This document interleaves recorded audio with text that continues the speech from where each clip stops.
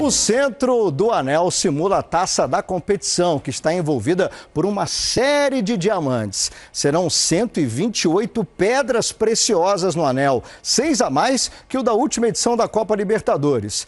Cinco jogadores disputam o prêmio, sendo três o Flamengo e dois o Atlético Paranaense. Arrascaeta, Everton Ribeiro, Pedro, Uruguaio Terãs e Vitor Roque estão na briga pelo anel repleto de pedras preciosas. O prêmio será entregue ao vencedor logo depois da grande decisão, ainda no campo do Estádio Monumental de Guayaquil, no Equador.